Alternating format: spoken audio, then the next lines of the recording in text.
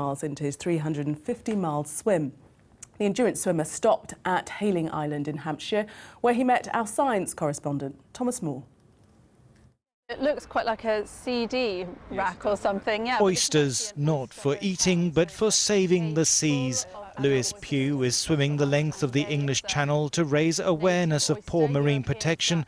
Oysters have been overfished in the Solent for decades, and now their future depends on breeding stock suspended in cages in the water. Uh, we think that the seas are bountiful, we think that they can rejuvenate themselves, we think that we can take out more and more and more and more, but we can't. And eventually it does catch up with us. Our oceans now are on the verge of bankruptcy. I've been swimming for 30 years and I have seen them going from healthy and bountiful to 15 million oysters being caught here where I grew up as a young boy to completely collapsing. Ready? Yeah. 23,000 oysters are dangling beneath pontoons in 10 locations around the Solent in a project funded by the Blue Marine Foundation.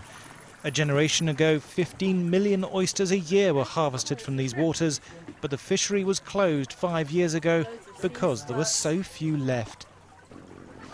Each one of these oysters will produce around a million larvae every year, which will be swept by the tides around the Solent. That's really good for the environment, obviously, but also for the fishing industry, which is heavily behind this project because it means there will be oysters to be harvested by future generations. Lewis is swimming through a sea that's given minimal protection.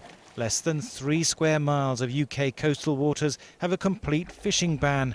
Other species could go the same way as the oyster.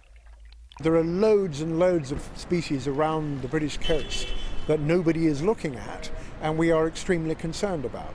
Look at the whelk, look at the cuttlefish. These are, these are species that you catch in the English Channel and uh, neither of them are looking too clever and nobody is managing them. Lewis is drumming up support for his campaign as he heads towards Dover.